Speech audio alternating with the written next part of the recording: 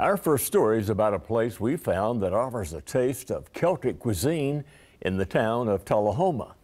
It's owned by a couple whose trips to Ireland and Scotland inspired them to open up the gathering spot of their dreams. The Emerald Isle of Ireland is far away from the town of Tullahoma, Tennessee. Yet after you discover flags fronting this restored 1920s craftsman home, you might feel a whole lot closer. Inside the Celtic Cup, the decor is reminiscent of a 19th century pub. The food and drink are genuine, and the mood is friendly. The proud owners, Chris and Denise Smith, opened the place when Chris retired from the military while stationed at Arnold Air Force Base. At the time, their sights were simply on a traditional coffee shop. We've had a lot of different military assignments, and one of the things that we would do is try to find a local coffee house at our new assignment, right? Because that's kind of the, the hub. You get the feel Yeah. of the community that way. And when we came here to Tullahoma, we started looking around. It's like, where's, There where's the wasn't coffee one. house? There wasn't one. And so we, in the back of our mind, all this time, we had this idea that Tullahoma needs a coffee house. Well, not just any coffee shop, this place needed a special identity, a theme, if you will.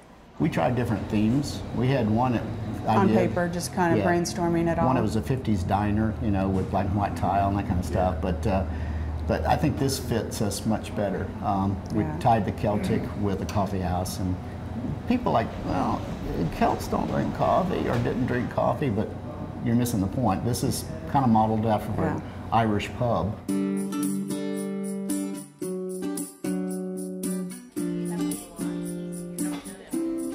The Celtic Cup has enjoyed a dedicated local following and a growing number of out of town visitors. After you take in the warm pub like feel of the place, well, you can enjoy a proper cup of tea or coffee just about any way you want it, even with a little bit of extra Irish spirit. Now, some people just come for the scones and other pastries, or a taste of Italy from the gelato bar. On the menu, though, you'll find a selection of authentically made Celtic lunch favorites.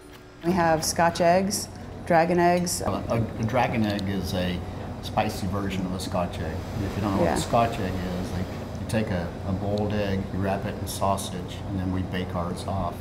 Denise also makes a tasty Irish version of Welsh rarebit. The cheese sauce that I make has four-year-old aged Irish cheddar in it, and about five types of mustard. And then, so that's the sauce, and then we put Irish uh, Dubliner cheese on that, and then the the rasher. If you're not familiar with the rasher, it's Irish ba- back bacon, and then um, we put tomatoes on it, and then more cheese, and then you toast it. And so we built our um, Celtic menu over time, making sure that we did it right. We, when we went to Ireland and we went to Scotland and we tasted the foods and we talked to the locals, and then you find people who have been there who know it. Um, you know, a local Scotsman or an Irishman who can authenticate it for you and say, "Yeah, that's that's just like grandmother made." Or we have some wonderful staff, and their heart is into the business, and they, they work hard, and they love what they do, and um, I think we have a great relationship with them. Once a week, the upstairs dining room is occupied by the Highland Rim Tatters. Now, tatting is a technique for handcrafting durable lace from a series of knots and loops. Tatting is more of a what's considered a new lace.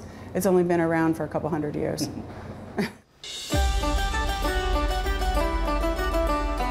Truly decadent treat, there's always the old Irish tradition of afternoon tea, complete with finger sandwiches, scones, cakes, and fruit.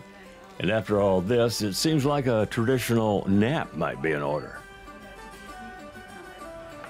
The Smiths moved around a lot during Chris's military career, Well, thank you. Thanks for coming in. Like, love your place.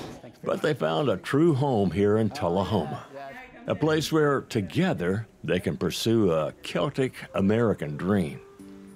And it's taken us 14 years to get to this point, but uh, yeah, we're really having really having a blast right now.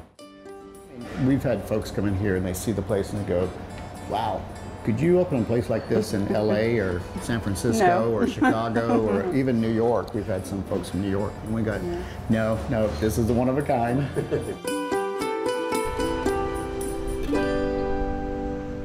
Hey, how'd you like the story?